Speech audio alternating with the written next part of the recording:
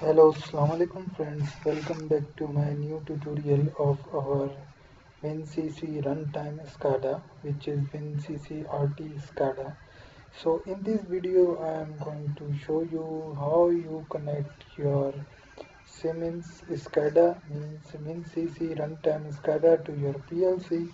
So first of all, you will see here is our PC station, SIMATIC PC station, and here is our HMI so in the runtimes you will see that the start screens and these things we describe these and about these things later.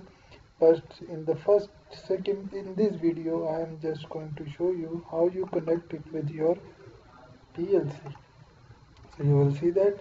Now I'm going to add a module which is communication module of Profinet to my add into my WinCC SIMATIC PC station so it is now you will see that uh, I added a module. Now I am going to device and networks.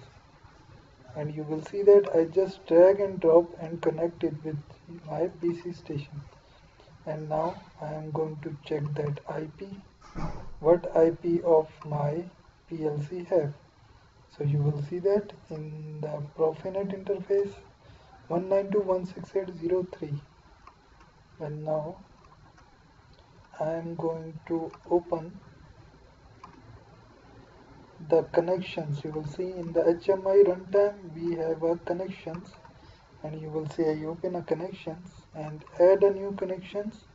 Now I'm going to select the communication driver for SIMATIC S7 you will use as same as for 1200 now you will see that here is an IP which is 919.2.168.0.2 and uh, the station IP we are going to select 192.168.0.3 so you will see that our ethernet connection has now created. Now I'm going to save that project. And you will see that it is now connected to our PLC now I'm going to show you by use uh, some buttons to that that uh, our PLC is connected or not. So let's see. You will see we have a network and just a manual button there and 0.0 and now I'm going to my and HMI runtime and we are going to screens and add a new screens. I'm going to select a button which you will see is on off buttons. It is a toggle button. Now I am going to connect it with my PLC so in the PLC we have a PLC tags and I'm going to find where is manual.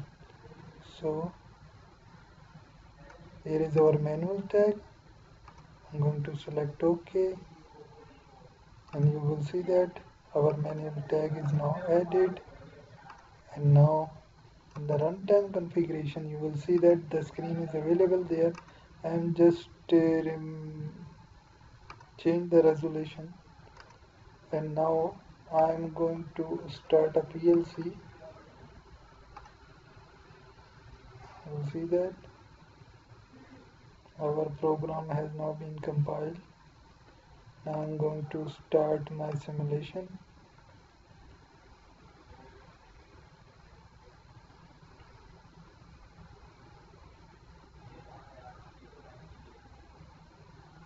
the program our program is now going to load.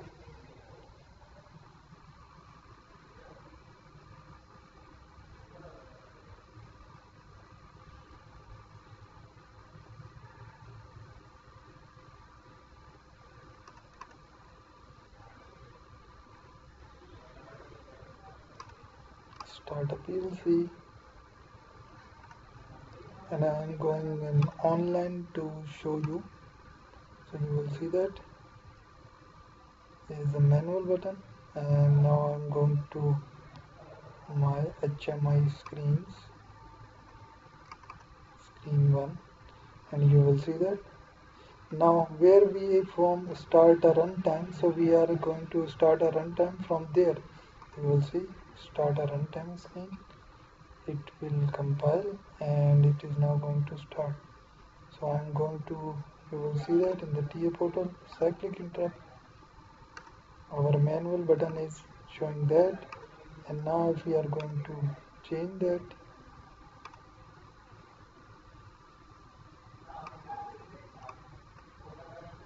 So change to on.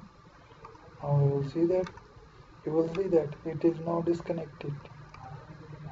Our switching connection is now disconnected.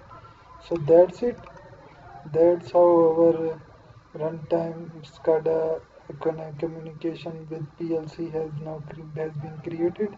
So thank you very much for watch my video. Please subscribe my channel like my video and click the bell icons and and mention if you have any uh, queries comments and uh, must see the descriptions. And so thank you very much again